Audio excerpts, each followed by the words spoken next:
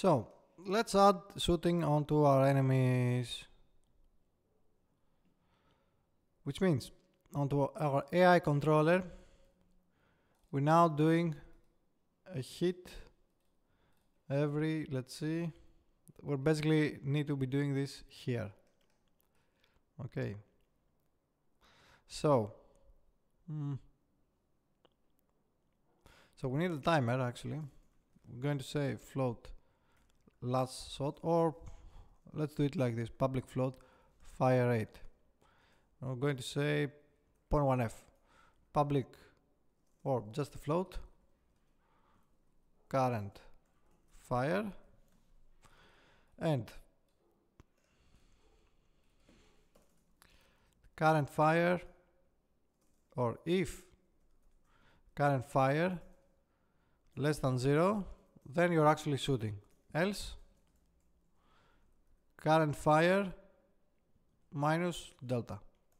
Okay the reason why I'm using delta time and not time real time since startup and so on is because I know the AI is not going to cheat uh, the way we're shooting. Okay so once that is done then current fire should be set to fire rate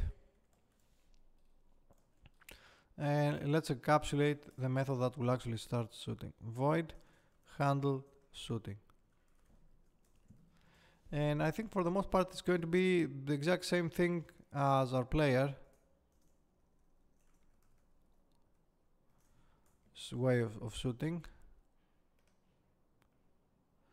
So instead of that let's do let's copy all of this actually I guess that's the same thing.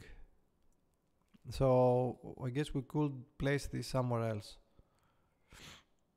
Let's see. Actually, let's copy this and drop it underneath our game references. So let's do public static void raycast shoot. Now, right out of the bat, we have a few things that are missing. First of all, we're missing the transform, our own transform, and we're missing the spread.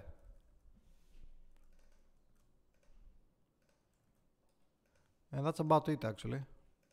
Because we have an eye suitable, and yeah, that's about it. So on the controller, instead of doing all of this, you can just say game references dot raycast shoot m transform and spread inventory manager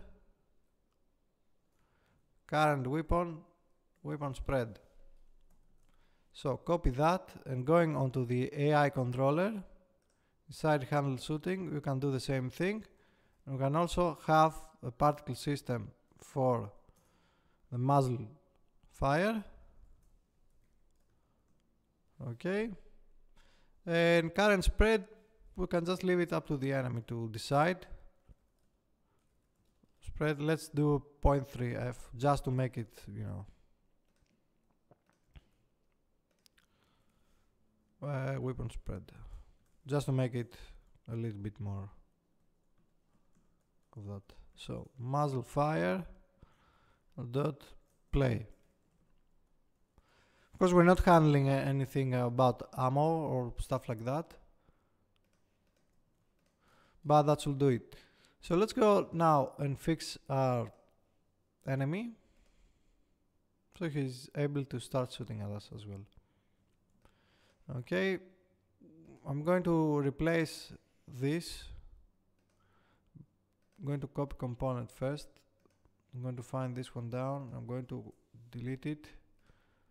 I'm going to duplicate that and actually we can just make this into a prefab.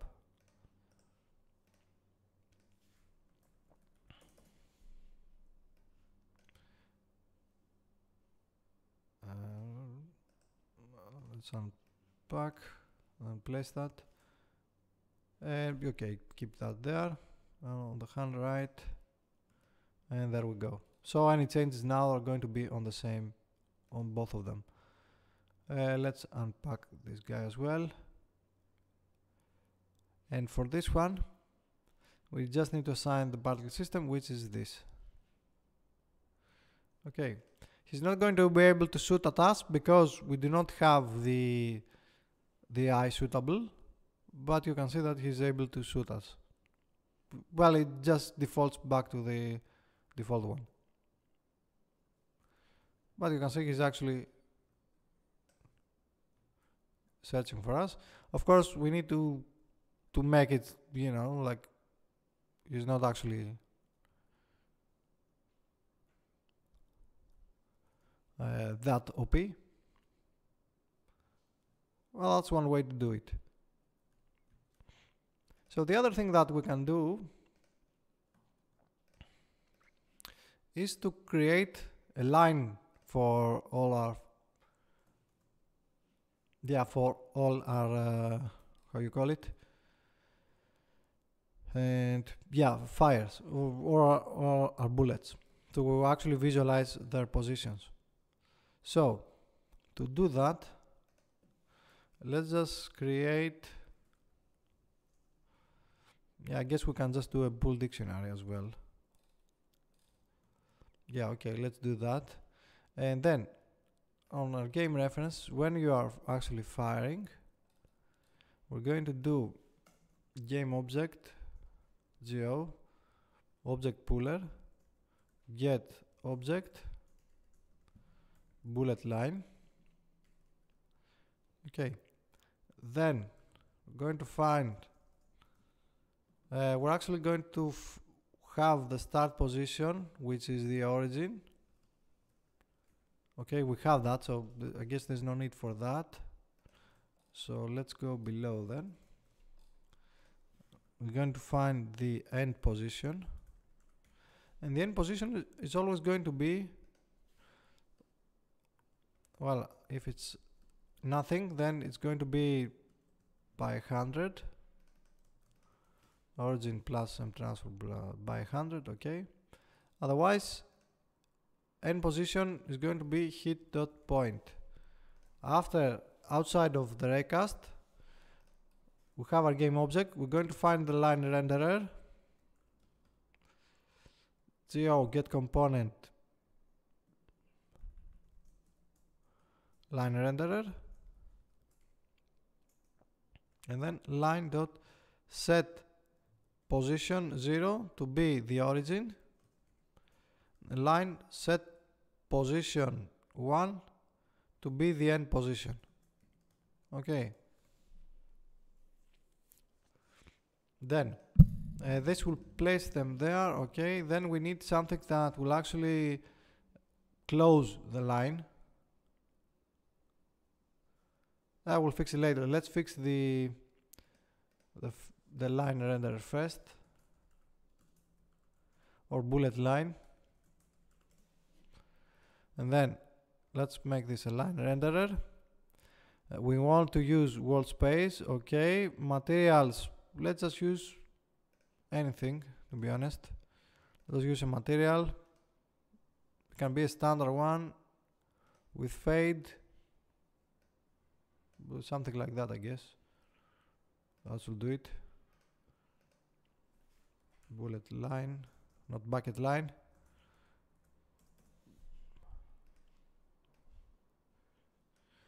Okay. Uh, receive shadows no. Dynamic occlude no. Cast shadows off. Okay, we have two positions. Okay, and for width, maybe something like this should do it. Okay, then let's go to our prefabs and let's go under our object pooler now. Let's find him. And let's create a bullet line. Okay. And we don't need this many. I guess 10 should do it. And maybe that's even too much. Let's find our prefab. And let's drop our bullet line.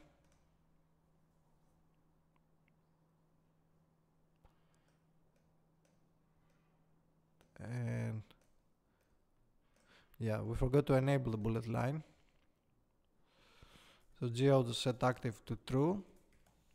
Uh, the rest, one other thing that I wanted to do on the object pooler was actually have a system dot non-serialized game object, parent object, and then parent object equals new game object and give it a name of pool parent not the cool parent. Okay uh, go transform dot parent equals pool parent or parent object dot transform. That's for us to do not spam things onto onto our scene. Yeah okay. That's more powerful than I wanted to have it but you get the idea and of course they do not close right now. So let's change this to something even smaller. And actually I guess we can just change this the width. I thought there was hmm. Otherwise no yeah there was a way to actually control this script I think but anyway we'll do this via via this so we're going to make this as bullet line. Open it up.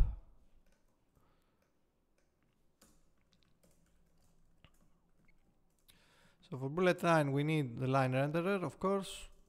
Let's make it public. I'm going to assign it from the inspector. I don't really care. Void on enable however. And on update. So on update we need. Actually let's see. Line render dot size. No let's find it from here. And width width. So width width curve width multiplier. So if width multiplier is less than 0 or equal 0 game object set active false. On enable line renderer dot width multiplier equals 1 and else a line renderer dot width multiplier minus time dot delta time. Public float speed. I'd say 0.2 f by speed. Subdivided by speed okay so let's close that. As that there then bullet line drag the line renderer and just apply all. That should probably make the bullets the bullet lines close. Yeah. Okay.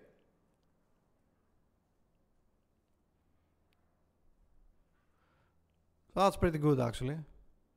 The origin needs to be set up a little bit because you need to be slightly forward.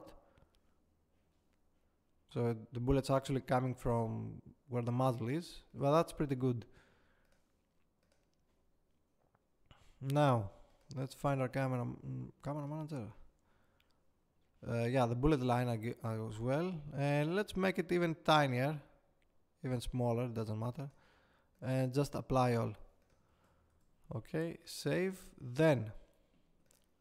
Uh, onto our game references. For where we are shooting. Let's see. On our origin we're also going to add and transform dot forward.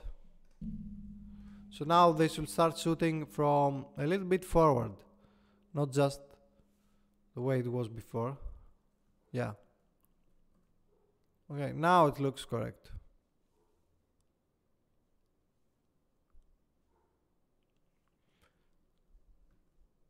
And obviously with uh, adding a gradient onto the bullets will work even better. Well, that's not that bad actually. We can even try, let's see, tolerance usual space materials.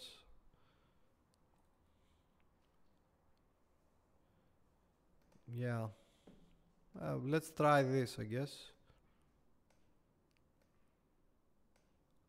Something like that.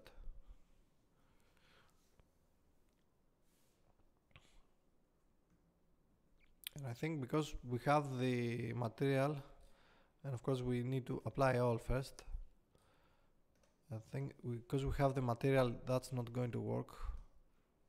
This color is not going to work. So I'm going to retry and remove that. Yeah now it doesn't even have anything. So let's just place that back again.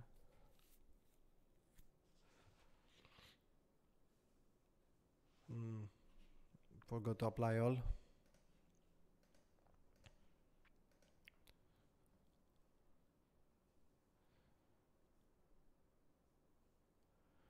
Okay, let's keep it for now. That will do it. We get the idea how this works.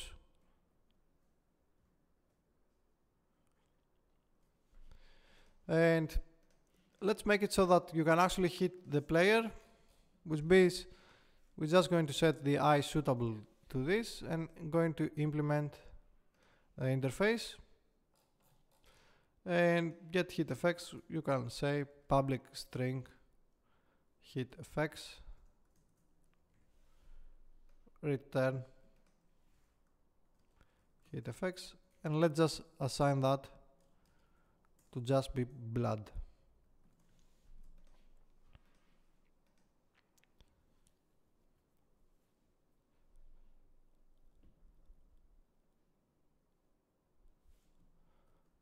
Yeah, of course, that's kind of too... It's pretty bloody, I guess. And of course our enemies are kind of stupid right now.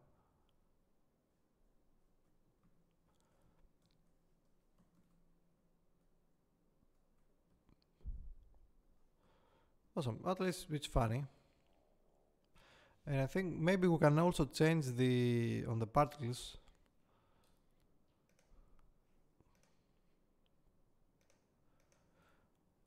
to make them be well we'll see. Blood spray effect. Let's find it. Okay let's change the material. When we find it. It doesn't actually have even a material. So how does this work then? Blood globes yeah here it is Mm. Okay. Let's do PSX, transparent, vertex lit. Uh, yeah, it's missing the vertex, but that will work. Because those are meshes as well. They just don't have blood. Okay and maybe we need to set that to red. And yeah and it's missing. Yeah because it was white from the start I think. Yeah they have this. The texture is actually white. With just this. So this needs to be a red texture for this to work I guess Anyway, let's set this back to what it was. Unless they have color, they do not have color over lifetime. Anyway, maybe let's say PSX transparent and lead no, you know, vertex lit. Yeah, no, that's not going to work. Let's just keep it at standard or standard specular. And we don't want any smoothness. And that will do it.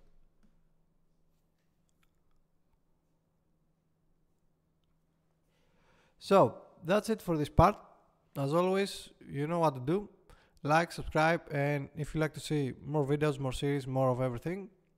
And we still have a lot of things to do for this series. So consider supporting my patrons who can keep making all of these nice things we're making. I'll see you next time.